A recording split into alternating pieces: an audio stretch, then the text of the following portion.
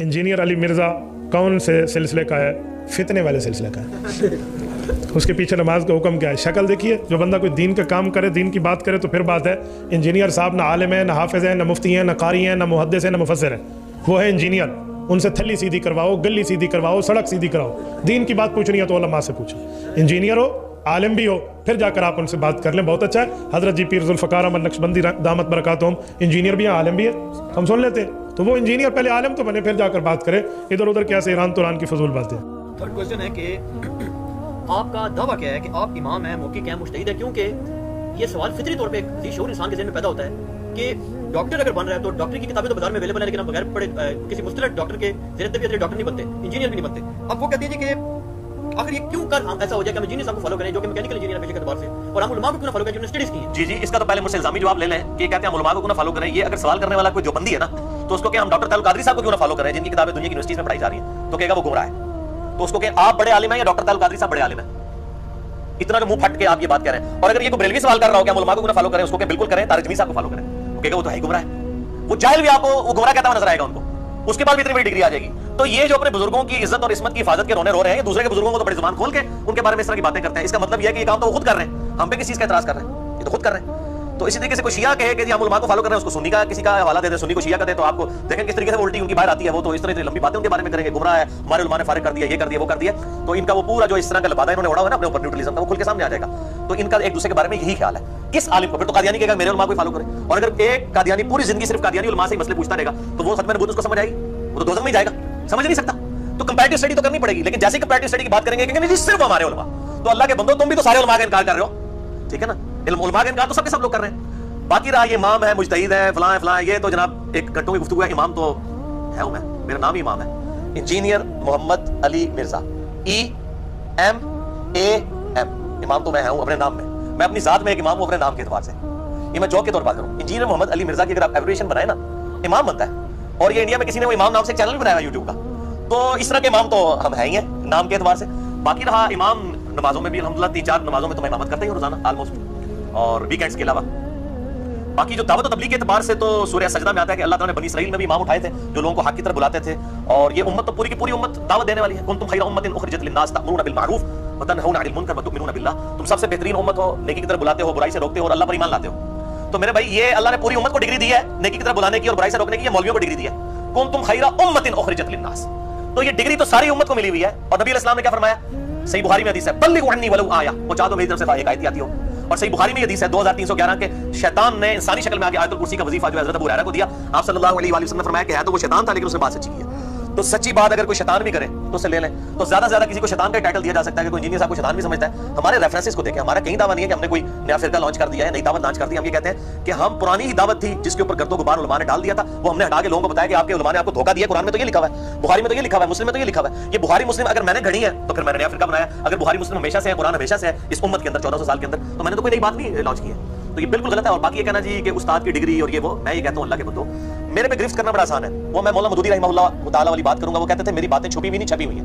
मैं उससे भी एक अलग वर्जन कि मेरी गुफ्तगू रिकॉर्डेड है वीडियो में। मेरे रिसर्च पेपर प्रिंटेड है। अगर किसी ने कोई गलती पकड़नी है तो उसमें पकड़े। हमें बताए कि कौन सी बाकी डिग्री वाला मामला तो ये तो एक दूसरे की डिग्री को नहीं मानते। मैं आज जो बंद की डिग्री लेके आ जाऊँ, क्या समझते हैं कि ब्रेलवी वाले हदीस मुझे आलमदीन मान लेंगे? नहीं मानेंगे। तो फिर डिग्री का तो हमें दोष क्यों लगाते हैं? जब उन्होंने मानना ही नहीं है तो डिग्री में टाइम का आप इल्म को देखें, आप आम खाएँ, पेड़ों को ना गिने।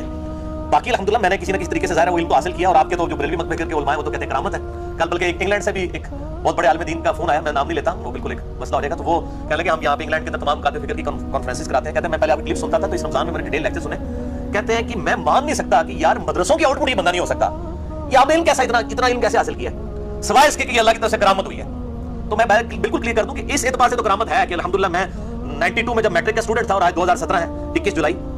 तो आप जरा ये देख लें, पिछले 25 सालों में मैं किताबी कीड़ा हूँ, किताबें पढ़ता हूँ, सबकी पढ़ता हूँ लेक्चर सबके देखता हूँ। फिर अल्लाह ताला ने एक गैर मामूली सलाहियत दी है, उसके ज़रिए मैं एनालिसिस करता हूँ और उसके बाद जो हक बात है उस तक पहुँचने की कोशिश करता हूँ। अल्हम्दुलिल्लाह, मैंने कोई एक नज़रिया भी ऐसा लॉन्च नहीं किया, जो उम्मत में किसी ना किसी फॉर्म में एग्जिस्ट ना करता कोई नया आगे मैंने महदी होने का दावा नहीं कर दिया, या मैंने को की सजा का इनकार नहीं कर दिया, या मैंने वादी का इनकार नहीं कर दिया, या मैंने खुलफा राजदीन का इनकार नहीं किया ऐसी चीज़ तो मैंने पेश कोई नहीं किया। सबकी सब चीज़ें अल्हम्दुलिल्लाह किताब और सुन्नत के दलाल के साथ हमेशा से एग्जिस्ट थी। हाँ, ये है कि वो जो आता है ना फतकत्तु जो सूरह अल मोमिनून में आता है कि नबियों के जाने के बाद इन्होंने दीन को पारा पारा कर दिया। कुल्लु हिज़्बिन बिमा लदैहिम फारिहून। हर फिरका उसके ऊपर खुश है जो उसके पास है। तो किसी ने सिर्फ़ तौहीद पकड़ी हुई थी, किसी ने सिर्फ़ अहले बैत की मोहब्बत पकड़ी हुई थी, किसी ने सिर्फ़ सहाबा की मोहब्बत, किसी ने बुज़ुर्गों और औलिया की मोहब्बत पकड़ी हुई थी। हमने वो सारी चीज़ों को यकजा करके सही बात बताई है कि एक एक शहर नहीं अद्धा तीतर आधा बटेर नहीं, पूरी कंबाइंड फॉर्म में जो जितनी जितनी चीज़ें सबकी सब एक जगह पर जमा होनी चाहिए। तो अल्हम्दुलिल्लाह सब लोग जाग रहे हैं और ये दावत फैल रही है। और बाकी ये कहना कि जी वो उलमा की सोबत में बैठ के होता है, जैसे आपने इंजीनियर यूनिवर्सिटी से डिग्री हासिल की है।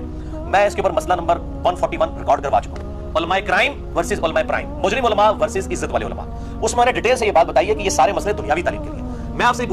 हूँ इंजीनियर बनना हर मुसलमान मर्द औरत पे फ़र्ज़ है? तो फिर डॉक्टर इंजीनियर की डिग्री के साथ उलमा की डिग्री की तो बात नहीं करनी चाहिए। लेकिन दिन हासिल करना हर मुसलमान मर्द औरत पे फ़र्ज़ है। फ़र्ज़ है। तो क्या वो डिग्री हासिल करेगा? क्या पॉसिबल है कि सारी दुनिया के उलमा डिग्री हासिल कर लेंगे, सारे मुसलमान? वो इतना इल्म हासिल करें जिसको वज़ू का तरीका आता है, वज़ू का तरीका किसी को सिखा दे। हर मुसलमान को आलिम होना चाहिए इस से। परफेक्ट आलिम तो ये वाले भी नहीं है। इनसे अगर मैं एक हज़ार आयात जो पुराने हकीम में साइंटिफिक फैक्ट्स के ऊपर ये डिस्कस करूँ तो इनको नहीं आती होगी जियोलॉजी के ऊपर एस्ट्रोनॉमी के ऊपर। इसी तरीके से जो मैथमेटिक्स से रिलेटेड चीज़ें हैं। कई, मैं आपको बताऊँ कितने उलमा हैं बड़े बड़े मैं नाम नहीं लेता हूँ, उनसे जाके जब लोगों ने कैलकुलेशन कराई है ना, ये विरासत के मसाइल बिल्कुल गलत रिज़ल्ट निकाल के बताते हैं। उलमा की डिग्रियाँ भी हैं, दुनियावी डिग्रियाँ भी हैं। विरासत का मुश्किल कानून चलते हैं, उनको ज़बरदस्त नहीं करने आती तो ये लोग कहाँ से दावा करते हैं? हमारे पास आए इंशाल्लाह आपको मैथमेटिकली कैलकुलेट करके देंगे। फिर मेरे पास आते हैं और फिर उनको मैं समझाता हूँ, कहते हैं, यार, हम तो इतना बड़ा आलिम मानते थे। इनको तो सिंपल मैथमेटिक्स नहीं आती है तो डिग्री कहाँ की है? तीन डिग्रियों में नहीं है, इल्म। इल्म के साथ ताल्लुक रखता है और इल्म हासिल करने के कई सोर्सेज हैं कि ऑलरेडी जिन लोगों ने मेहनत किया उससे इस्तेफादा करें। सबसे बड़ा सोर्स ये आप व्हील को दोबारा से इन्वेंट ना करें। बाकी आज के उलमा जो इन्होंने कौन सी तहकीक कर ली है? इस वक्त जितने मुहद्दिसीन है कि अपनी सनत नबी इस्लाम तक पहुँचा रहे हैं, चाहे वो शेख अलबानी रहमहुल्लाह ताला हो या शेख जुबैर रहमहुल्लाह ताला हो या शेख शुएब अरनौत हो रहमहुल्लाह ताला, ये बाकी जितने मुहद्दिसीन है, क्या ये हर हदीस की सनत अपने से नबी इस्लाम तक पहुंचाते हैं? ये नकाल है सबके सब। ये नकाल वो उर्दू वाला नहीं है छेड़ना समझो, नकाल कहते हैं, नकल करने वाले। ये सब के सब कहते हैं रवाहुल बुखारी रवाहुल मुस्लिम। हाँ बुखारी मुस्लिम अपनी सनद नबी इस्लाम तक पहुंचाते हैं। तो अगर मैं भी बुखारी मुस्लिम से वाले दूँ और अलबानी और शेख जुबैर भी दे, और शुएब अरनौत भी दें, रहीमहुल्लाह अजमईन तो फ़र्क तो कोई नहीं है। हवाले तो वो भी दे रहे हैं। उन्हीं बड़े बुज़ुर्गों के हम भी उन्हीं के हवाले दे रहे हैं। तो इन्होंने कौन सी उस एतबार से कोई कोई नया कोई पहिया इन्वेंट कर दिया? जिन उसूल के ऊपर ये हुक्म लगाते हैं, उसूल भी उन मुहद्दिसीन के बनाए हुए इमाम मुस्लिम ने मुकदमे बनाए हुए हैं। तो ये बात बिल्कुल गलत की जाती है कि वो डिग्री हासिल करें, डिग्री लेके भी इन्होंने निकालनी बनती तो मैं अक्सर कहता हूँ इंग्लिश में स्पेलिंग है बीयूटी बट या B A T bat dictionary खोल के चेक कर ले। मैं अगर वो हवाला देता हूँ, अगर कुरान सुन्नत में ना निकले तो आप पकड़ अगर आपके डीडी वाले उलमाई धोखा देते हैं लोगों को, गलत बातें बताते हैं और खुद बरेलवी मानते हैं कि जो बंदी उलमा धोखा दे रहे हैं जो बंदी कहते हैं कि बरेलवी दे रहे हैं तो आपसे और फिर मैं इनको एक और भी बात करता हूँ कि अल्लाह के बंदो, आप ये कहते हो कि जनाब वो डिग्री जो है वो ज़रूरी है। डिग्री हासिल करना इंजीनियरिंग और डॉक्टरी की हर मुसलमान पर फ़र्ज़ नहीं, लेकिन इल्म दीन फ़र्ज़ है। इल्म दीन हासिल हो जाता है। उलमा की मेहनत से। हमने को खुद से नहीं सारे। बाकी मैं इतनी बेसिक अरबी तो जानता हूँ मैं पाक कहीं से मैं तर्जुमा कर लूँगा। लेकिन मैं तीसरा पारा खोल के आपके मुफ्ती के सामने रखूँगा अल्फाज का तर्जुमा नहीं कर सकेगा। जिनको अरबी का जोम है। तो हम तो लोगों के हवाले देते हैं, उन उलमा के हवाले देते हैं, अपने जाती वाले तो नहीं दे रहे होते। तो इसमें एक और बात याद रखें कि हम, अल्हम्दुलिल्लाह, इन्हीं उलमा से मसले पूछते हैं। ठीक है? लेकिन मसला ये है कि ये अक्सर वो कह रहे होते हैं, जनाब देखें, जब आप किसी डॉक्टर को मिलने जाते हैं, डॉक्टर आपके लिए दवाई लिखता है, आप उससे नहीं कहते कि मुझे किताब खोल के चेक कराओ कि तुमने दवाई सही लिखी है, गलत। कैसे कैसे शैतानी सवाल करते हैं। ये जवाब इंजीनियर साहब बोल रहे हैं। वो कहते हैं, आप चुप करके दवाई खा लेते हैं। मैं इसको एक स्टेप आगे लेके जाता हूँ। अगर डॉक्टर आपसे ये कहे, आप अपनी आँख चेक करवाने के लिए जाएँ, और डॉक्टर आपसे कहे, वो पीएचडी बुजुर्गान दीन और इमाम काबा की डिग्री हो उस डॉक्टर के पास, और दुनियावी डिग्री भी हो किंग एडवर्ड मेडिकल कॉलेज की, और आपको डॉक्टर कहे ये जो आपकी आँख है ना, इसको ठीक करने के लिए एक तो आपका नाक काटना पड़ेगा, एक ये बाएँ वाला कान और दाएँ वाली टांग और बाएँ बाजू भी काटना पड़ेगा तो इंशाल्लाह आपकी आँख ठीक हो जाएगी। तो आप इतबार कर लेंगे? नहीं, आप करें ना। यही कुछ आपके साथ कर रहे होते हैं। कि मसला कुछ और पूछने जाते हैं, कुछ और बता देते हैं, आप उनके पुराना इतमाद करते हैं। तो डॉक्टरों की मिसालें देते हैं। अगर इस तरह के डॉक्टर मशवरे दे रहे हो तो आप मान लेंगे। बल्कि कई लोग जिनको थोड़ी बहुत नो होती है ना, वो डॉक्टरों को दवाई करते वक्त लिखते वक्त गाइड भी करते हैं कि, जनाब, आपने दवाई तो मेरी वालदा की लिख दी है, मेरी वालदा तो शुगर की मरीज़ है। आपने सही पूछा ही नहीं है ये दवाई तो शुगर की मरीज़ को नहीं डॉक्टर क्योंकि डॉक्टर बैठे डॉक्टर वाला ना पूछो कितने केसेस होते हैं? इनकी अपनी वालदा के साथ ये केस हो चुका है। तो जिन लोगों को मतलब थोड़ा बहुत नो हुआ है, वो तो डॉक्टर्स को गाइड कर रहे होते हैं कि, जनाब, आप ये क्या कर रहे हैं? ऐसा नहीं होना। फिर डॉक्टर भी बैठे हुए, कमाई करने के लिए। तो मेरे भाई सिर्फ़ डॉक्टर कमाई करने के लिए बैठे हुए, आपके उलमा भी कमाई करने के लिए बैठे हुए। और दूसरा मैं इनको बात करता हूँ कि डॉक्टर साहब, आप जब दवाई लिखते हैं ना, ये उलमा कहते हैं मसले बताते हैं। तो भाई डॉक्टर अगर हमें दवाई लिखता है ना, हम मेडिकल स्टोर पर जाते हैं ना, उसको फार्मूला बताते हैं ना, वो मेडिकल स्टोर वाला उसको काउंटर चेक करके कंफर्म कर देता है कि हाँ जी, आपको नजला जुकाम है, बिल्कुल सही दवाई लिखी है और ये मार्केट में एग्जिस्ट भी करती है। ये दवाई है। लेकिन थोड़े मौलवी मसले दस दिन लोगों जो मसले उठ पटांग बताते हैं ना लोगों को। जब हम वो मसले लेके किसी दूसरी आलम दीन के पास जाते हैं या किसी मौके के पास, वो कहता है कि मसले गलत बताया। या वो मसला जब वो हम कुरान खोल के खुद चेक करते हैं कुरान में लिखा ही नहीं होता। मैं दावे से कहता हूँ कि डॉक्टर जो दवाइयाँ लिखते हैं और फार्मूले, उनकी एक किताब लगा छपी हुई है आपको उसमें मिल जाए डॉक्टर मिलना है कि नहीं फार्मूला? कोलू बना के कोई नहीं देता। लेकिन उलमा खुद से मसले बना के बताते हैं लोगों को। जब आप कुरान खोलते हैं, मसला उसके उलट लिखा होता है। कुरान के पहले समय में लिखा होता है या नअबुदु व इय्याका नस्तईन और वो कह रहे होते हैं, या बावला बेड़ा तक या मईनुद्दीन चिश्ती लगा दे, पार लगा दे किश्ती इतने बड़े बड़े बुज़ुर्ग कह रहे होते हैं। वो नेरिया वाले जो बुज़ुर्ग अभी फौत हो गए हैं, उनका मैंने खुद क्लिप सुना है उन्होंने कहा ये बंदा मुझे तवाफे काबा मिला के दुआएँ नहीं आती। कहते मैंने कहा कि आज तवाफी, तू भाभी गाला काट, भाभियों को गालियाँ निकाल कर तुझे दुआएँ नहीं आती है। भाई, इस तरह के जब बड़े बड़े मसाइल बताएँगे तो ये मसाइल अब जब हम लेके कुरान हदीस में जाते हैं, हमें ना बुखारी में मिलता है कि जिसको दुआएँ ना आती हो तवाफ की वो भाभियों को गाली निकाले। तो हमें तो मसला मिलता नहीं है। तो आप सिर्फ़ डॉक्टर बहुत बेहतर है। कम से कम उनकी दवाई को आप, और ये मैंने खुद चेक किया ये हर एक मेडिकल स्टोर के ऊपर बकायदा दवाई किताब रखी होती है। फार्मूले के तहत आप दवाई को ढूंढ सकते हैं। जिस तरह आप ऑक्सफोर्ड यूनिवर्सिटी में ढूंढ सकते तो वो चेक होता है। तो अलहमदुल्ला जो दुनियावी डॉक्टर हैं, हम इनको बहुत अच्छा समझते हैं, इनकी निस्बत कि उनकी दवाई अभी तक हमने चेक की हैं, वो मिलती नहीं है। लेकिन मौलवी जो है ना, वो बिल्कुल ही डिफरेंट मामला को लेकर चल रहे होते हैं। डॉक्टरों का आप दस डॉक्टरों के पास आँख का मसला लेके जाएँगे, वो आँख के ड्राप ही आपको देगा। ठीक है? दस डॉक्टरों के पास ये मसला लेके जाएँगे। लेकिन दस उलमा के पास आप दीन का मसला लेके जाएँगे कोई आपको कान में डालने वाली दवाई दे देगा, कोई जनाब आपको जनाब टीका लगा देगा। ठीक है जी, कोई आपको बेहोश कर देगा। कम से कम डॉक्टर बेहतर है, कम से कम किसी एक बात के ऊपर एग्री जो और मैं आपको हकीकत ये बात करता हूँ, मैं जो एक दुनिया यूनिवर्सिटी से पढ़ा हूँ, ये भी पीएचडी डॉक्टर है मैथमेटिक्स में, इनसे पूछे, मैं इनसे बात करता हूँ। आप मुझे बताएँ जी, कोई दुनिया का सबसे बड़ा मैथमेटिशियन हो, और वो एक बुक पढ़ा रहा हो, जो एस्टेब्लिश है डिफरेंशिएशन या इंटीग्रेशन के ऊपर या चीज़ों के ऊपर। और आप ड्यूरिंग लेक्चर खड़े होकर ये कहते हैं सर, आपने जो फार्मूला लिखा है, ये गलत है। तो क्या वो आपको डांटेगा?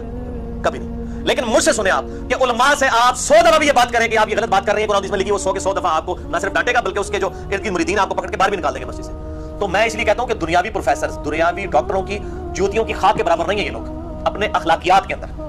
तो यार फिर से तो बेहतर है कि वो कम से कम अपनी किताब का रिगार्ड करता है। तुम रिलीजन के दाई होगे, दीन के दाई होगे, तुम अपनी किताबों का रिगार्ड नहीं करते, इज़्ज़त नहीं करते। तो तुमसे तो गौरव बेहतर हमने खुद चेक किया फ़ोन बैकवर्ड पे चले क्यों नहीं? तरह होता है। बल्कि वो शुक्रिया अदा करते हैं यार थैंक यू आपने बताया ये। लेकिन ये थैंक यू कहेंगे आपको। आप बिल्कुल सही मसला भी बयान करते हैं इनके सामने।